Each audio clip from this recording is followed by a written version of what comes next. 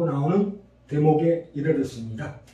어, 이 구약에서 하나님께서 우리를 얼마나 사랑하시느냐 하는 그 내용의 실체는 성육신하신 예수님이 오셔서야 밝히 드러나게 됩니다. 그래서 에레미야 보시면 에레미야 31장에 보시면 우리가 알다시피 구약에서 아, 애굽에 노예된 이스라엘 백성을 이끌어올 때는 내가 그들의 남편이 되었어도 그들이 내 언약을 파하였습니다.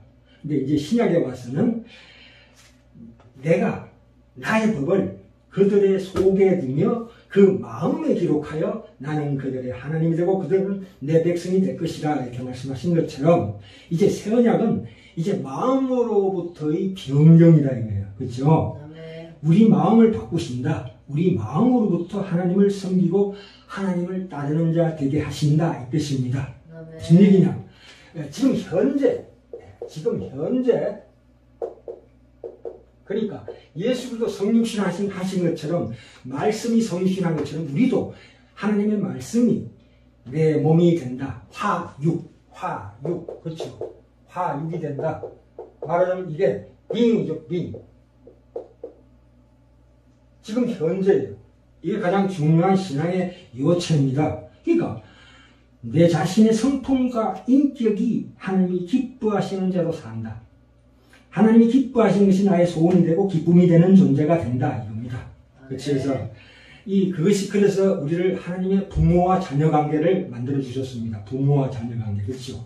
그래서 마음을 다하고 뜻을 다하고 성품을 다하여 주 너희 하나님을 사랑하라 하신다는 것은 우리를 사랑하시기 때문에 그 사랑으로 가는 그 길목에 충성이 있고 순종이 있고 복종이 있다 이 말입니다. 그래서 이 말씀에 복종하고 순종해야 된다. 내일 일은 하나님께서 감춰 놓아 주십니다. 특히 우리 현실성 영적인 얘기가 아닙니다. 영적으로 우리가 나중에 부활되고 어, 참 하나님의 천국 백성이 되지만 지금 말씀하시는 이 부분은 현실의 삶을 얘기하는 거예요. 그죠?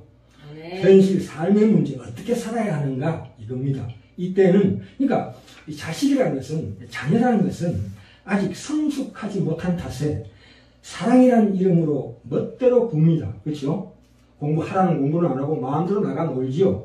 그를 향해서 부모가 복종을 요구합니다. 그렇죠? 그러니까 이제 네. 부모가 상급도 마련하는 법인데, 야, 너 공부 잘하면 내가 뭐 하나 사주겠다. 이런 식으로. 그렇죠? 그래서 예수님께서 이 드디어 이 말씀으로 우리에게 은혜 주시고자 합니다. 그죠?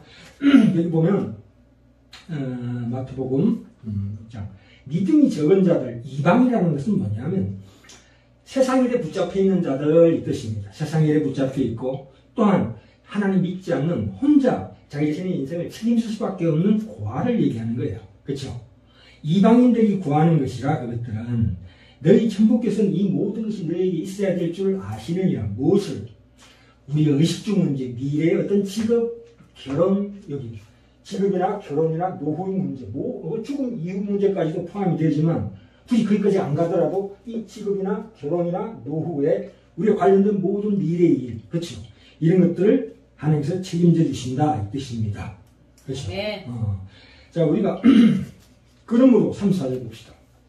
그러므로 내일 일을 위하여 염려하지 말라. 내일 일은 내일 염려할 것이 한날 괴로운 그날의 족하니라. 이렇게 나옵니다. 그러니까 우선순위가 어떻게 되는가? 오늘 일만 생각하라. 이 뜻입니다. 오늘 일만 생각하라. 그럼 뭡니까? 우리가 현재 해야 될 일이 무언가를 뚜렷하게 알아라. 우리가 미래의 일을 나를 향한 하나님의 뜻을 알려고 하는 것은 접어두고 현재 내가 해야 될 일을 우리는 알고 있다 이 말입니다. 알고 있는 하나님의 뜻이 더 중요하다. 지금 현재 지금 현재 내가 해야 될 일이 뭔가. 그래서 우리가 먼저 따져봐라 이겁니다. 미래는 하나님께 맡겨라. 그러니까